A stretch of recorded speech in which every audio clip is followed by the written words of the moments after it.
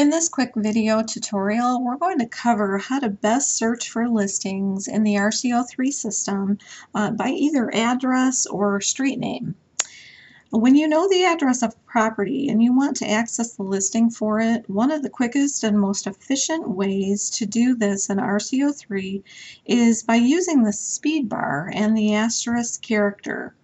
The speed bar tool appears at the top of the screen on the home page and on all subsequent screens in the RCO3 system.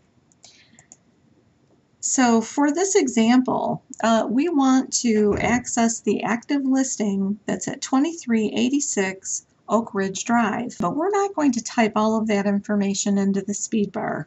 We're going to type the street number, a space, and then just the first few letters of the street name uh, and an asterisk.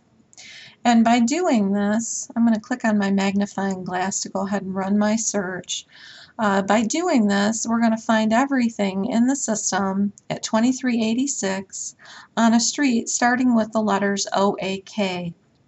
And so we actually have eight matches listed here. Not all of them are active. I see that uh, only two uh, that are active. One is uh, a Realcomp listing, and the other uh, is uh, in our system by way of the Great Lakes Repository data sharing. Um, so these are actually the same property, and uh, the reason why both are displaying and the second one was was not removed from the system is because there is no space between oak and ridge. Uh, but I can see that this really is a duplicate listing so uh, I'll go ahead and notify our IT department uh, so that they can take care of removing that that dupe.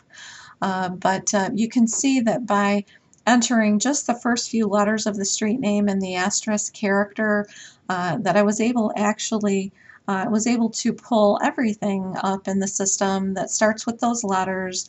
And then um, you know by looking at the matches look to see which one I really uh, am interested in. And, and that's uh, this listing here the active listing uh, the fourth one down.